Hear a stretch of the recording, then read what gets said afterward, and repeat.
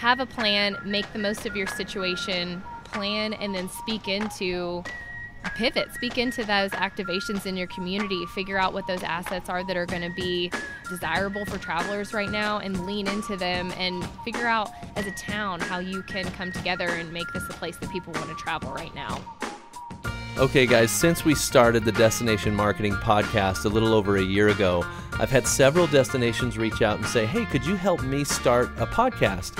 And at first we were kind of like, Well, no, that's not really what we do. But after enough requests, we said, You know what? Let's explore this. And we've created a turnkey program for destinations where we will produce, we will host, we will edit, and we will publish your podcast for your destination on a weekly, bi weekly, or monthly basis. Uh, and all you have to do is show up and answer some questions. Uh, we're really excited about this program. We've got a few destinations that have been doing really, really well with their podcast. Uh, and if you've ever thought about creating a podcast for your destination, but you don't have all the equipment or you don't have uh, the the expertise or, or any of that type of stuff, let us take that off your hands. Let let Relic handle your podcast creation and production and all you have to do is show up and answer questions about all the amazing things there are to do within your destination. So let me know if you're interested. Email me at adam at relicagency.com and we'll get you set up on this podcast program.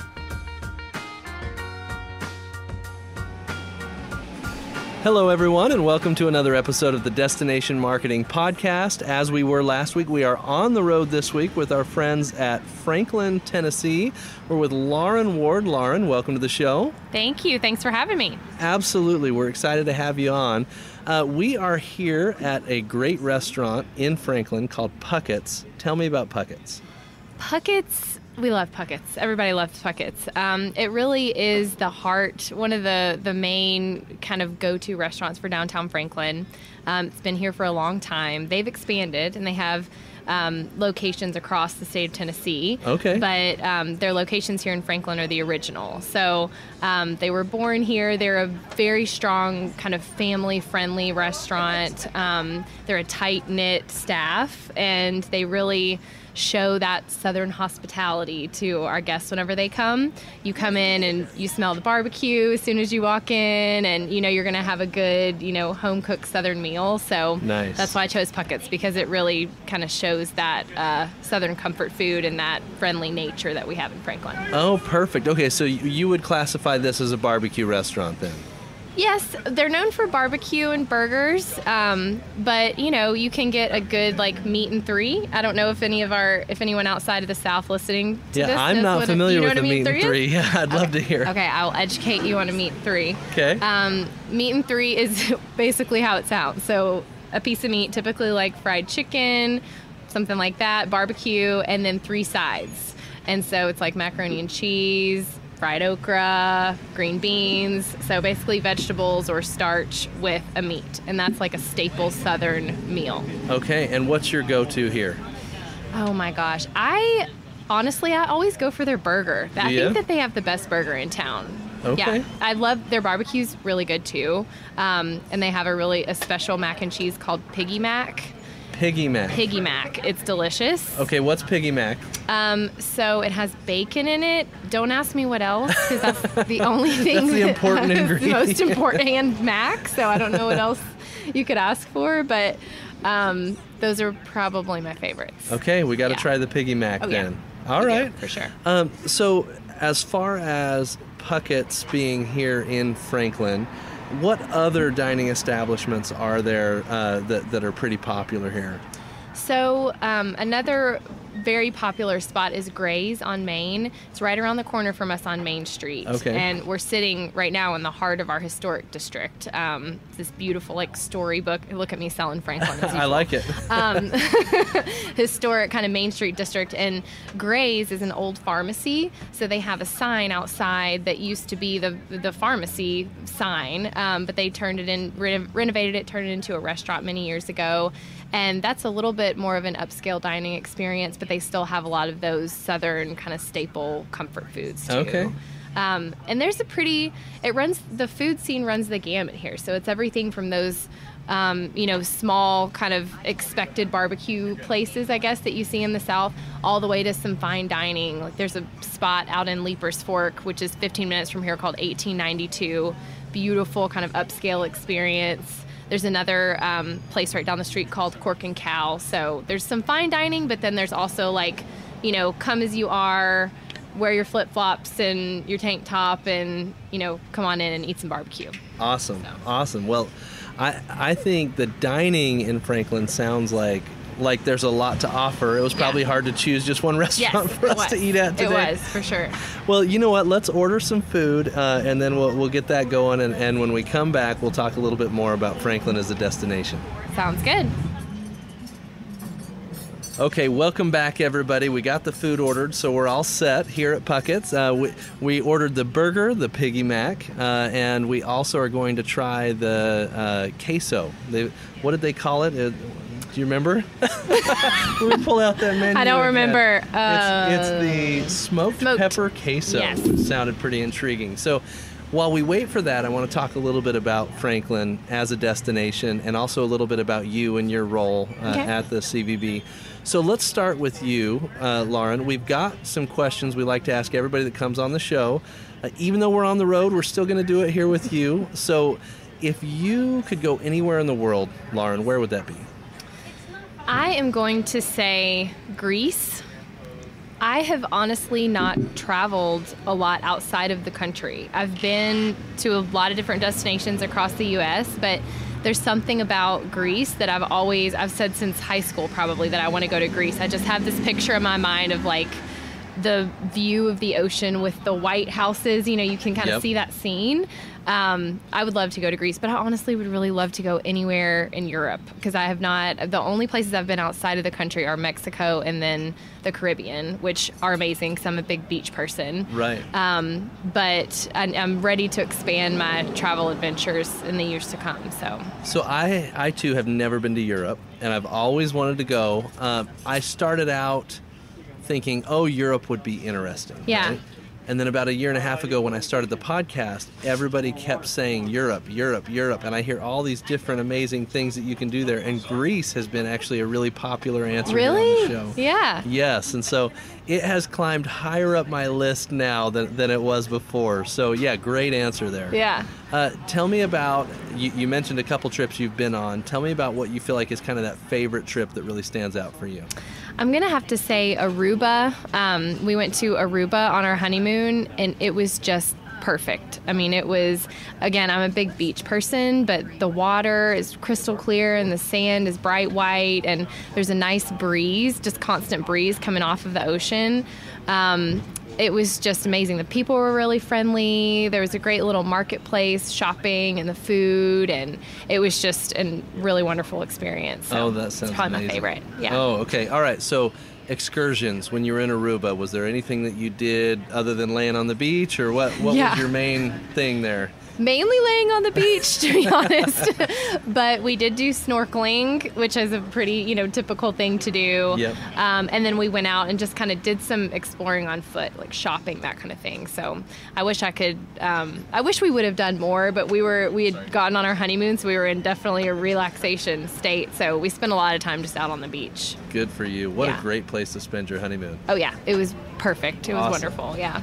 On, on our honeymoon, we uh, we drove to California from Utah, and I think if there's one thing I would do differently, I would have gone somewhere and stayed somewhere because so much of our honeymoon was spent in yeah the oh i bet But you know what? You learn as you go, yeah right? true it's true Well, tell me a little bit about you and your background and how you got into tourism. Yeah, so um, I started my career at a communications agency in downtown Nashville. So I was in the agency world like you for a little while. Um, I was there for uh, almost 10 years. I started my career there and stayed right after college, which I know is kind of odd for a 22 year old. Um, but I just loved it there. I worked with a lot of different clients in all different industries, but I never worked with a tourism client. Um, I did an internship in college with the Knoxville Tourism and Sports Corporation. That's what it was called at the time, which is in East Tennessee, Yep. like few hours from here. So I'd had a taste of tourism, but over my 10 years at the agency, I hadn't done a lot in the tourism world. Um, but this job came open here in Franklin, and it just sounded fun. To be And honest, what's your with role? you. I am the vice president of marketing and communications. Perfect. So I oversee. I came from the agency world, running accounts mainly on the PR marketing side, um, and then took that PR marketing experience and related it to the tourism industry. Um, which you know you can relate marketing experience really to any industry, but tourism definitely has its um, you know intricacies that I've learned over the past few years. So I've been with Visit Franklin for a little over three years now, um, and just absolutely love everything about working for a destination marketing organization. Like you're never going to get me out of tourism at this point because it's just fun. I just tell people it's just fun. I just love my job. I feel like the and everyone's happy, right? Like everybody in the tourism industry just is generally a happy person because they're promoting things that they love to do in their town and travel is happy and I just really like being in that space. Yep. I I love this industry and and you make some great points. I I actually feel like when you're in school and and maybe this is just naivete on my part, but nobody ever said there's an entire industry around marketing destinations that you can get into. I mean, I had no idea. Yeah. So it, sounds like you like me kind of stumbled upon it and said, "Wow, this is this is really cool." I And did, yeah. it- it's funny you say I'm never getting out of tourism because I feel the same way. Like I, I think you would have to pry me out of this Yeah. industry at this point. Oh yeah. Sorry to everybody that doesn't enjoy the show. Yeah. yep, I feel the same way. Well, so you got into your role. That was Mm-hmm. three years ago. Uh, you- for the first two years, you probably had you know business was booming in the industry and everything, Mm-hmm. the sustained growth. Tell me what that time was like, and then kind of as we transitioned into the COVID area era, what what that was like for you. Yeah. So, um, you know, Franklin has seen, from a tourism perspective, has seen a lot of growth over the past several years. Definitely the past five to seven years in particular.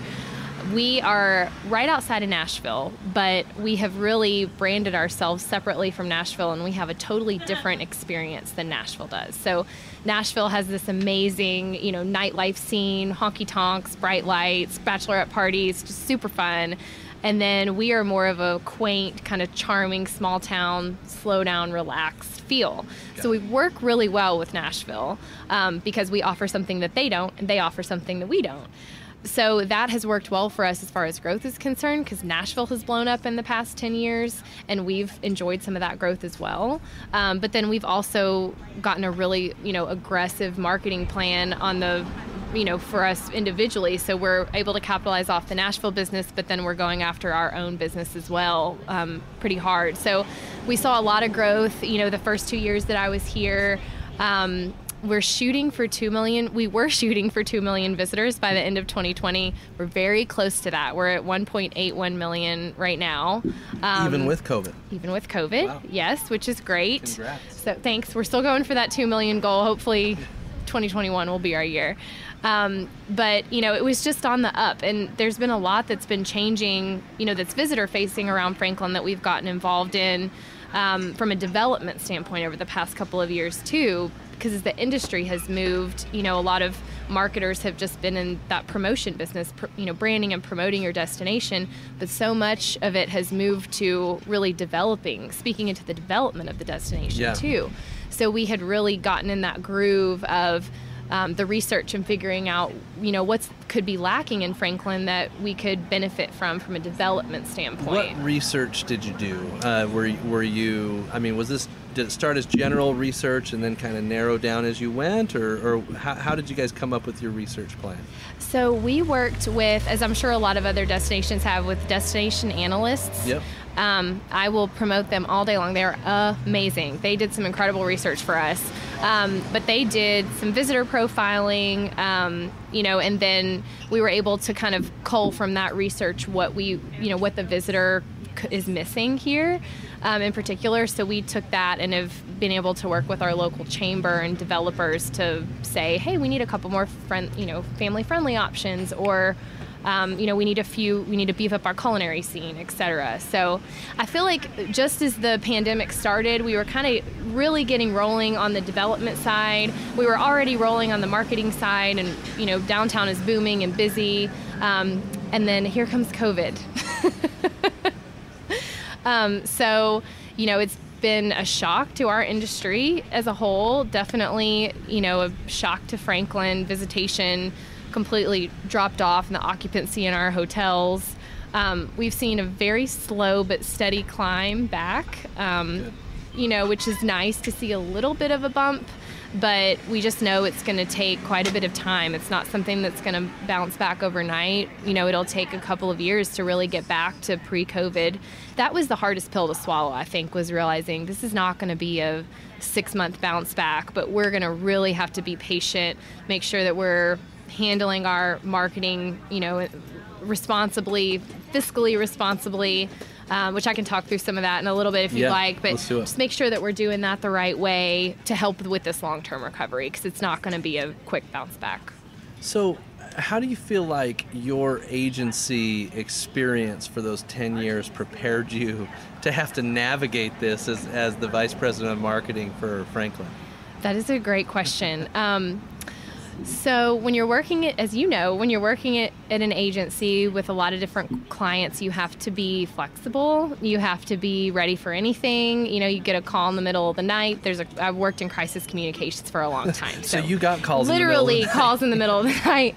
Um, you know, so you just, I feel like everyone is using the word pivot and flexible right now, but that is just the truth of it. You know, just being able to um, vary from the path that you're on and make a plan that you also know is going to change at the same time. Like, you can't not plan because things are unstable. You have to still plan, but Right. you have to have a have that flexibility, and that's very much. It's really similar to what I did with client work um, because it changed, you know, so much in the in agency life is just planning, but understanding that that is probably not. It's probably not going to go that way, and we need to have a plan B and C and D. Yeah, I, I love that you still planned, even though you knew it was probably not going to go as planned. Yeah. Like, you got to do something. Right. You can't just sit back Maybe and wait that's until my it's over. type A. You know, I've got to at least have something on paper. I got to have something here. Yep, yep. you Um, and I are very similar there. Yeah. Well, our queso just came out and it looks amazing. Why don't we take a little break and we'll jump back in? Sounds good. Okay, everybody, we've been talking about recovery for a while now, and my team at Relic has been working on recovery campaigns for several destinations over the last couple of months. They've actually developed a pretty amazing, we'll call it an algorithm, to know when it's safe to do acquisition marketing in a market. And so, what I mean by that is you've got government regulations, you've got uh, you know, how is the virus affecting that market? Whether there's been a decrease in cases or a decrease in deaths in that market. When is it safe to advertise, hey, come to our destination? Uh, like I said, our team has come up with this algorithm to provide that information for you, and we're offering a free market report. We're calling it Recovery Triggers. And if you'd like a free Recovery Trigger report for your target market where you want to draw visitors from, please email me directly at adam at relicagency.com or you can go to recoverytriggers.relicagency.com and we'll get you set up with a free report and we even have the ability to send you a weekly recurring report so you can see what's happening in that market on a weekly basis and make sure you're launching your acquisition campaign at the perfect time.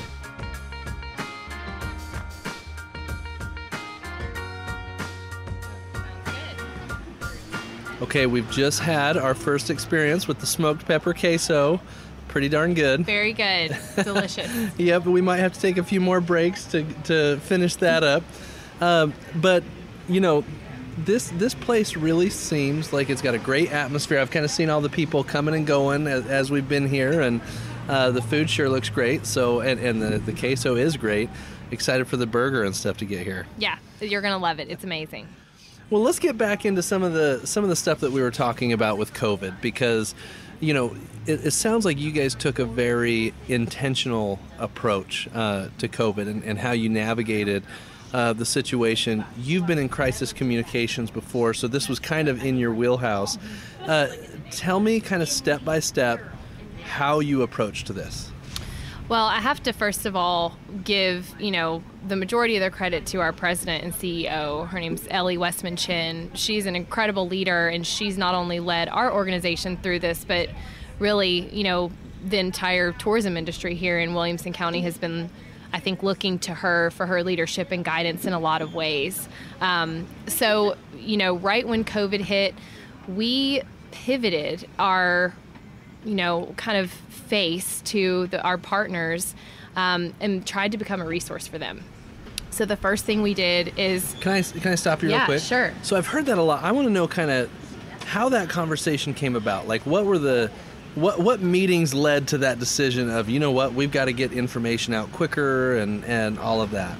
It was almost instinctual. That sounds odd, but um, you know we've always been so focused on this is our marketing plan, this is how we're moving forward. So there, there were kind of some obvious things that needed to happen immediately that just happened that day, where it's like we need to take down our advertising, we need to put up an information page on our website, we need to do some things in the visitor center. There were just some immediate things that we just knew that we needed to do. And right after we got through with that, um, we just we needed that information from our partners to be able to serve it to the visitor, and then we also needed to know how we could support them at the same time. Makes sense. It's kind of a dual purpose. So it's how are we having providing the most up-to-date information to our visitors, and that the best way to do that obviously is through connecting with our partners, but then also.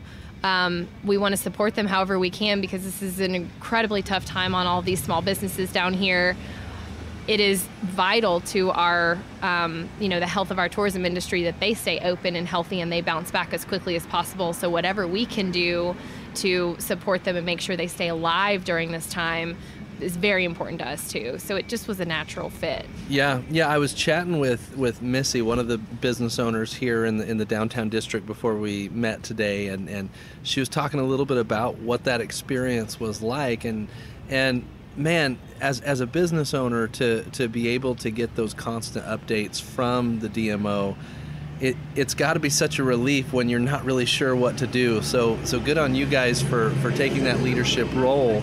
Um, from a tactical standpoint, was it email? Did you guys have a social media group that you communicate within? What were your tactics for getting that word out? Well, it was email first of all as far as updates were concerned but then we we have a staff of 13 full time we literally divided up the entire staff and divided up our partner list and we got on the phone and we we called every single one of our partners. I like it. Um, we just wanted to we this was a conversation that could not happen over email and we wanted to connect with them and really hear from them what was happening. So we each took a section. We cover the county as a whole, so it's not just Franklin. We have um, six communities total. Okay. So we each took a community or a sector and just started calling through those lists. We created a um, you know shared sheet where we went in and just put our updates in and then we continued to update the full staff as we were getting information in and all of that funneled to our website um, so that was kind of the visitor facing piece there was constant updates on our site, though, um, from a safety perspective. You know, as far as mandates were concerned, um, health and safety practices, like we were updating that on a daily basis. So we were really trying to stay on top of that. And then probably once a week or twice a week, we would have email communication out to our partners, just letting them know what was happening as far as small business loans were concerned. Um, we worked with, we created a list of places that were hiring so that people that had to lay off their staff at restaurants or, or hotels could send their people a link for employment. I love that. that um, that's something. So I've heard a lot of these tactics before. Um, the job board I haven't heard a lot of, and, and I'm yeah. glad that you guys did that. We did, yeah. And then we ended up partnering with our local chamber, and they hosted it on their website. Um, so we would send all kinds of updates out that way. And then we've also gathered a lot of information through email since then with surveys. We've done some mask sentiment surveys, um, asking people their percentage of visitor versus resident through this time. It's really helped us to have that, you know, information back from them as we're working on our marketing strategy moving forward. You know, I keep hearing that research that you guys are, are doing a lot of research and listening uh, where did that strategy come from? Is that did that come from your agency days, or is that something that you know Franklin has always done? where did that strategy come from?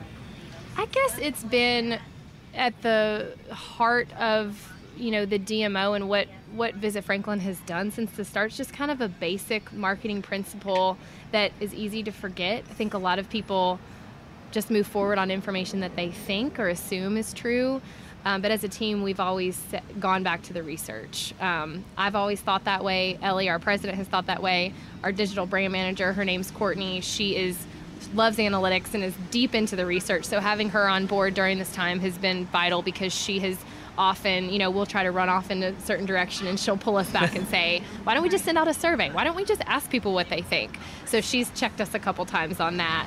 Nice. Um, but it's, I, I think some of it probably does come from agency days as well. It's just natural for me to think research first before we build a strategy. I love it. You know, one of the reasons that I feel like research is so critical right now is that personas, target personas, have changed for a lot of destinations. The people that were willing to come before just aren't willing to come anymore. Uh, and, and people that weren't willing to come before may be willing now, right? And so, from a research standpoint, I think it's so important to be exploring the answers to those questions because uh, otherwise we could be marketing to the wrong people and marketing is getting the right message to the right people at the right time. It sounds simple. It's a lot harder than that. Right. But but it sounds like you guys are doing the important listening and research that needs to happen in order to nail getting the right people or excuse me the right message to the right people. Well thanks. We're trying. Um, you know we don't always succeed and do it right every time but i something that I have to continuously remind myself is to update that, that research because you'll live off of, I think a lot of DMOs live off of three to five year old research, yes. which I would say three years is fine for a large, you know, research piece. But there's so much that you can glean from just small surveys. You know, not, you know, you want to have that larger research with a partner after several years, but just send out a survey via social. Send out a survey to your partners through SurveyMonkey. It's an easy thing to do. So I'm trying to be better at gleaning that information and listening more over time on a more regular basis instead of just basing my assumptions off of something we heard two years ago. Yeah, research is never done. Exactly. right? Yes. Yeah, totally. Well, the burger is here, the Piggy Mac is here, and I think we got to give it a try. So we're going to come back in just a few minutes and, and keep it going with Franklin, Tennessee. Sounds good. Okay, Lauren, now that we all need a nap. Yes. Please. that burger was amazing. What a great recommendation. Thank you. I'm glad you like it. Um, and and the piggy mac. Turns out it was it was pulled pork in there. Mm-hmm. I was wrong. I knew it was something from a pig. Close enough. Uh, it's just deliciousness. It was amazing. So yeah, uh, we'll we'll do this last segment and then we'll go take a little nap. Great. I'm in. Sounds great. All right. Well, so we were talking before, just just kind of how you guys approached research and you know how you how you tackled COVID as an organization. One of the things that you did was was you talked about the leadership coming from the CEO of the the CVB. Tell me what it is about that leadership style that has made a difference for you guys. Great question. Um, look, I'm like interviewing you. Like, great question, Adam. I like it. I'll take compliments. I'm not scared. Um, I say great question because I love talking about this because I um, you know, the type of leader that your organization has makes all the difference in the success, I think, of the DMO and their positioning in the community. Um, the way that people value what you're doing. I think the CEO's relationships and the way that she gets out there, she or he, we have a female uh, CEO, so I'm saying she, but the way that she or he gets out there in the community and um, you know, with your stakeholders and talks about the importance of tourism. Somebody who knows how to do that and to fight for you and to fight for tourism is so important. Um, but internally, she leads she's a very strong leader but she's so unbelievably approachable. She hires people that she trusts to do the job and then she basically gets out of their way. Um, and i mean that in a very positive way. She hires the right people and then she steps back and she creates um, an environment of creativity and a place where no idea is off the table. It doesn't matter what, you know, position you're in or level you are. Everybody has something to bring to the table. So marketing needs to contribute to sales. Sales need to, needs to contribute to the visitor center, etc. Um, and she does that because she steps back, in a sense, provides that groundwork and kind of those boundaries, and says, okay, let's see what you guys can do, and runs with it. And then she's there to answer questions. She's there to prompt us and push us in a certain direction. Um, you know, she takes the reins. Obviously, on certain situations like COVID, she immediately came in with a plan. This is what we're going to do. This is where we're going to go. But she gives our staff members a lot of freedom to grow and develop and run their departments how they see fit um, with a little bit of guidance from her. But she's just created that growth environment and that creative environment, which I think has helped us, you know, moved us forward in the right direction. I love that you said she hires people that she trusts and then she gets out of their way. Yeah, think and she would say that. that is that is so good. And and I, whenever I've heard somebody talk about great leaders, it's never like oh they just come in and they do everything. No it's it's they they trust their people and they get out of the way. And i, I think that's a great point. Yes. The other thing that i love about her she would laugh because we tell this story all the time. The second day that i started working with her she and i are great partners. She's a, just become a great friend of mine. But the second day that we started working i said you know I know I'm going to love this place because I feel like I could come to you and say, Ellie, there's a dead body laying at the bottom of the stairs. And you would say, okay, well, let's figure it out. You know, like nothing. You know, there's no panic. There's there's nothing that we can't figure out. It, that's that's really the environment that we have here, which has served us well in COVID. It's just okay. Now, where do we? How do we move forward? We're not going to wallow in this. We're not going to panic. We're not going to, you know, stand still because we don't know what to do. We're going to figure out a plan and roll with it and move forward. I love it. Good stuff. Okay let me ask you a little bit about your phased recovery plan. And and it's been interesting because I know that Tennessee has begun you know, the cases haven't like gone way down or anything like that, but things feel like they're starting to loosen up just a little bit. So, what's your phased plan for coming out of this? So we started a phase plan back in June, actually, which seems early, but we were one of the first states to open. So we had the opportunity to kind of come up with a phasing plan right out of the gate and then almost test the waters with that before I think some other states because Tennessee opened, you know, fairly early. So we have come up over the next year with a four phase marketing plan and we have based that on two sets of metrics. I'll try to not bore you with all these details. no, I like it. the first set is destination readiness. So that's pretty obvious one. We're looking at other destinations, our target destinations. Are they ready to travel or not? We're not going to waste our money in destinations that just aren't ready to get out of town. Right. Then we're going to look at our own destination metrics. So, what is the spread? Is it low, medium, high? And that our health department has been great with, you know, keeping that information public and the school systems using that as well. So, we'll look at the spread rate. We'll also look at our occupancy rate. Um, there's a couple other metrics that we're taking a look at on a monthly basis to figure out our reach and then our spend at the same time. So, um, for example, if we have a high spread, um, we, you know, and a low engagement, we're going to keep things close to home and we're just going to be promoting staycation. That's phase one. If we're all the way open, phase four pre COVID, we're advertising nationally. So it kind of comes in, you know, different stages. Um, we're in phase two right now, which is medium. We've moved to kind of the low face, you know, low spread, but we're still treating it as medium right now, where we're advertising to drive markets in particular. Um, we're not doing any fly markets right now, but we're a great drive market destination. So we're pouring as much money as possible into those drive market destinations that we know they're ready, and then doing a lot of statewide campaigns too, because we've seen some research that shows people are really loving to travel the state of Tennessee. So we're trying to capitalize on that. I like it. Okay, yeah. you, you mentioned earlier, and we'll get into creative in just a minute, but you mentioned earlier that, that you're really trying to be fiscally responsible as you're rolling out this recovery plan. Tell me how you're approaching the, the financial side of this. So, we are fortunate to be funded on an annual basis. I know that some DMOs are funded as you go on a quarterly yeah. basis. So, we actually have, have secured our funding for this next year, and all of that funding was pre COVID which puts us in a position, a planning and saving position, yes. which is very, I feel very fortunate to be in that position because um, I know a lot of DMOs are not. So we. Can I ask you a quick question? Yeah, of course. So if you're in a DMO that, that is kind of a get approved as you go, as opposed to an annual, how, how can you go about trying to change that with your with your governing officials? Great question. Here's another surprise for you. I Boom. know. I'm gonna have to think about that one for a minute. Um, you know, I think a lot of it comes down to. I think a lot of it starts with your board. So take a look at who's on your board. Do you have, first of all, do you have control over who's on your board and who's not? How much of a say do you have in that?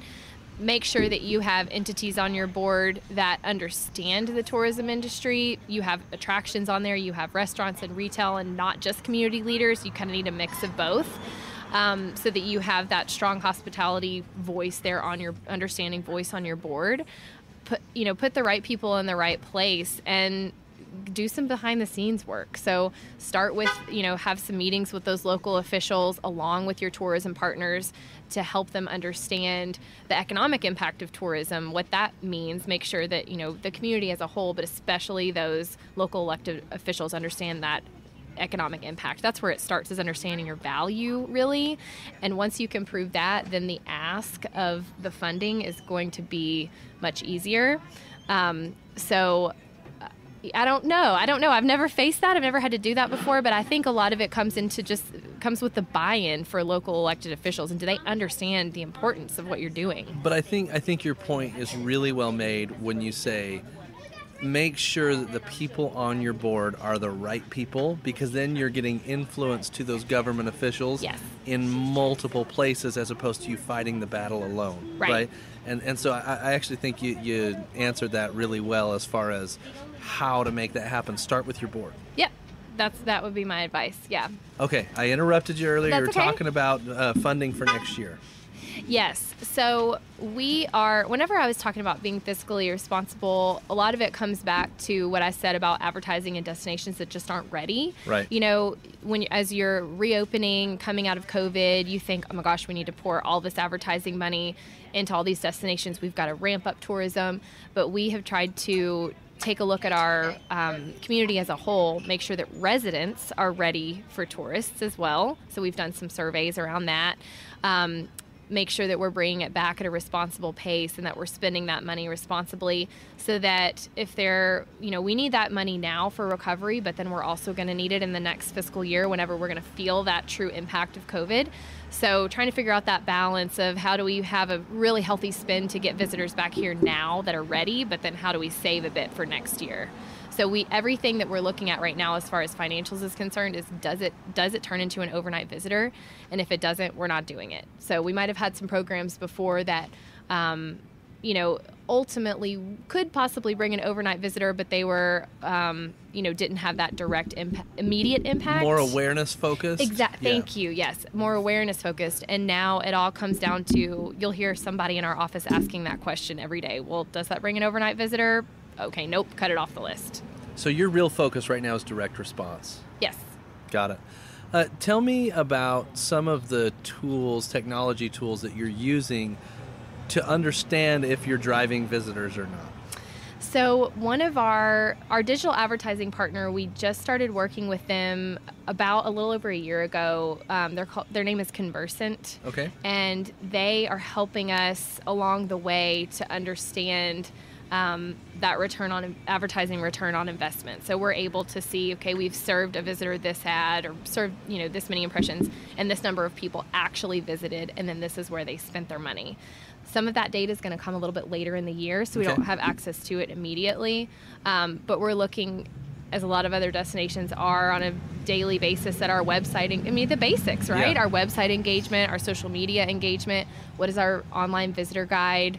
Signups, what does that look like? E newsletters, because that's a pretty good gauge of interest in comparing those things to pre COVID times. Got it. All right, let's talk creative. What, what's your messaging like? So you, you, you determine that a market that you want to advertise in is ready. By the way, I love that you're doing that. I, I think the idea of, uh, and I think a lot of people are, this goes back to research, they're not finding out if a market is ready before they're spending those advertising dollars, and that money is wasted, Right. right? So I love that you're doing that. But when you're running in those markets, what does that creative look like?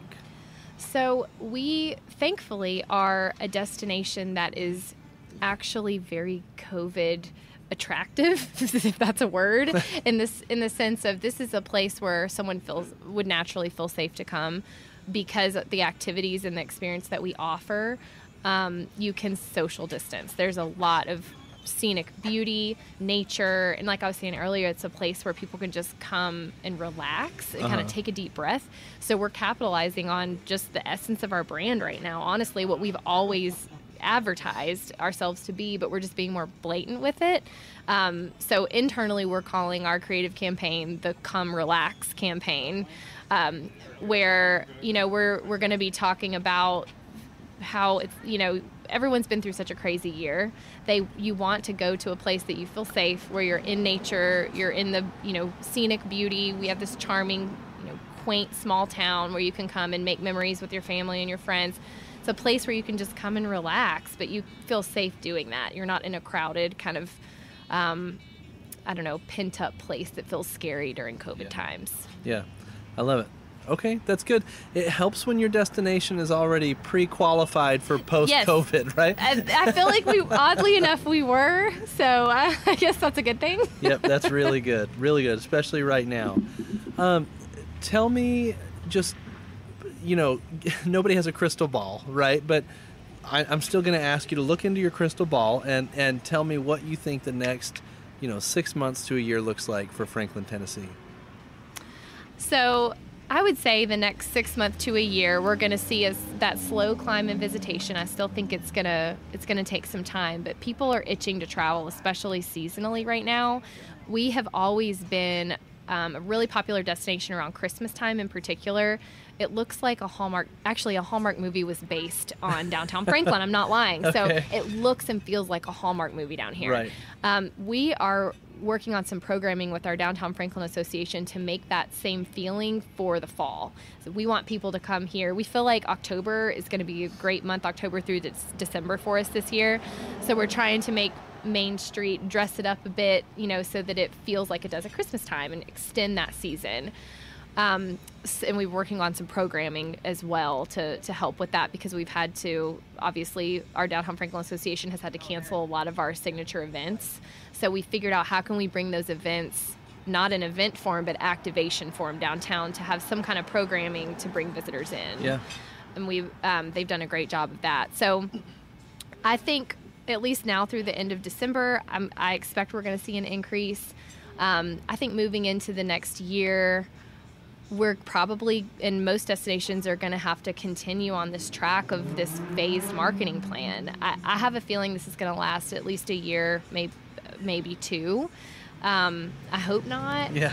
but I think it's just going to be a bit of a long road. Um, I'm hoping that we're going to see a really good bump in the spring. Obviously, a lot of this depends on vaccine and Yep. just, but people are itching to travel. They're ready to get out. Um, they're ready to see the world. They're ready for some happiness and some lightness in their in their life, and to get together with family and friends in the travel industry. I think is going to, you know, boom and bounce back as soon as people feel safe and comfortable. I totally agree. I think there's so much pent up demand out there right now that if, if you do a thoughtful and intentional job of planning out your phased marketing plan, like you say, you're going to be able to capitalize on that. And if you sit back and wait for things to get back to normal, your competitor is going to capitalize on that, right? Yeah. Um, so, Lauren, if you could boil it down to, to one piece of advice or takeaway that you could give destinations that are listening to the show, what would you say? I would say have a plan. Don't just sit back and say, oh, we're just in a terrible spot. The industry's in a terrible spot. I'm going to throw up my hands and there's nothing I can do, and this is horrible for us. I would say have a plan, make the most of your situation. This is more than one thing, but That's all right. be be proactive i guess is what i'm trying to say so plan and then speak into pivot speak into those activations in your community. Figure out what those assets are that are going to be um, desirable for travelers right now and lean into them and put your staff to work working alongside your associations. Figure out as a town how you can come together and make this a place that people want to travel right now. Don't just sit back but be proactive. And if your plan blows up, that's okay. That's okay. Just make a new plan, right? It- yeah it's going to blow up so don't be surprised. It probably already has multiple times. oh yeah. Well, Lauren, Puckett's was a huge success. man, this is good food. Yep. Um, thank you for for making this suggestion and also making some time to hang with us today and talk about our industry. Yeah, thanks for having me. It was so fun. I'm glad that you liked the food and Southern hospitality and whatnot. So you won't need dinner tonight because it's a lot of food. so, yeah. we like to feed you here. Yeah, absolutely. Well, well, thanks a lot. It's been a lot of fun. Thank you. All right, everybody. This has been another episode of the Destination Marketing Podcast on the road, and had a great episode today. We've got more coming, so stay tuned in the next couple of weeks, and we'll have Tennessee very thoroughly represented here on the show. So, thanks again for listening. If you enjoyed today's show, please leave us a rating or a review. And other than that, we'll talk to you next week.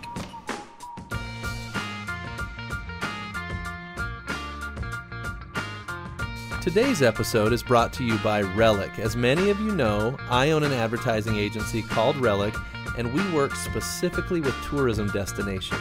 If there's any of you that are struggling with what to do next, or you've tried agencies that don't specialize in tourism, or, or if you've been using the local flavor for years and years and you're just looking for something new, I would say give us a call. Give us the opportunity to take a look at your plans, see what you're doing, use our tourism knowledge and industry specialty to examine everything from your brand to your tactical execution and make recommendations of how to help. We'll do that assessment for free. We'll give you those recommendations for free.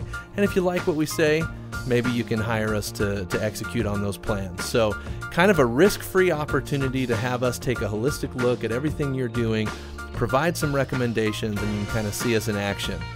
If you're interested in having us do something like that, please send me an email directly at adam at relicagency.com. I would love to set that up with my team.